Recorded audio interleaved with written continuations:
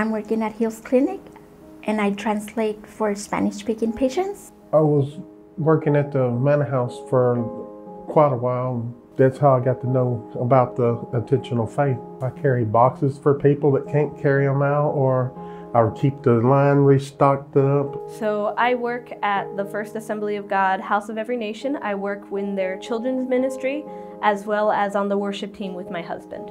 Intentional faith allows me to uh, be with a team. What we do is we get together and we go out into the city of Huntsville, into the hub zones, and do devotions.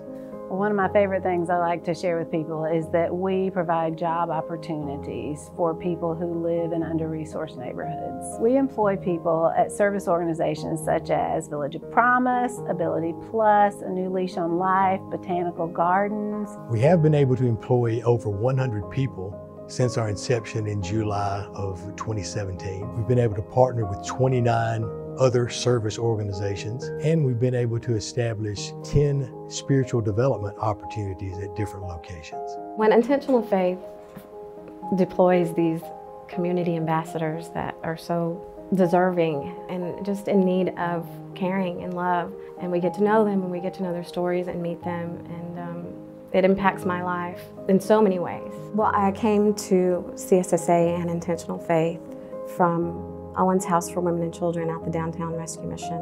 I had been homeless with my son, my four-year-old son at the time.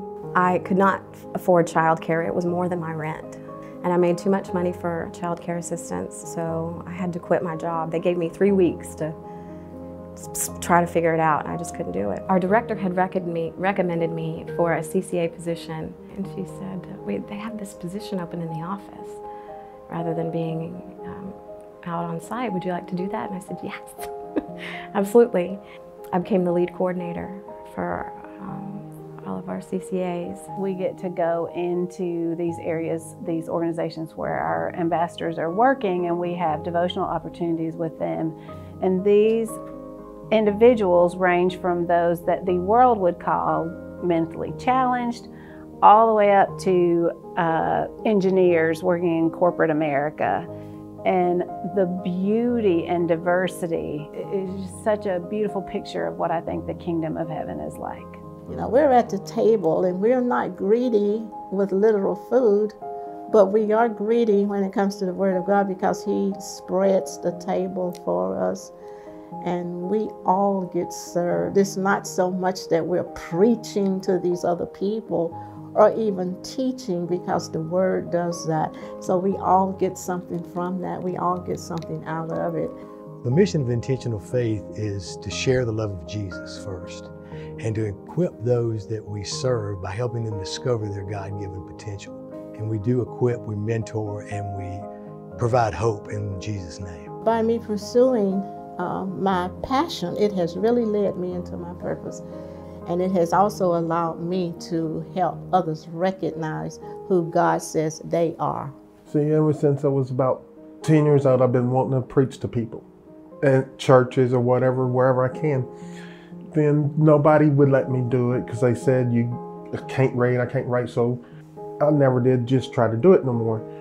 So one day I wrote this stuff at home and recorded it on my phone, and it was on the subject of for convergence, what Joe we had ready for me to preach. So I got to do a, like a 45 minute preaching on it to make my dreams come true. Moving out of college, you always pray about what job you're going to get. And I remember praying to the Lord, I'm like, Lord, I would love to serve in the community, help at a church, and have that be my job. And it gives me that opportunity to be able to make my job serving the church. There are so many opportunities and resources that that can aid in, in future development, whether it's personal, spiritual, or professional. I'm getting a chance to, to work on a nonprofit of my own and working with these super smart, intelligent people and um, loving people that I get to work with every day. I get to have that mentorship with them and, and that devotional time with them and that prayer with them and that support with them that can't there's you can't replace it. You can't find it anywhere else. To be able to join God in what He's doing here on earth in individual lives and in our lives, and to be intentional about carrying our faith out is just an incredible privilege for us at Intentional Faith. I get to look around at these miraculous people, and I cannot believe that I get to be part of that, that God chose me to be a part of that, to help and be helped too every day. What would you be like if you knew who God says you are? What if?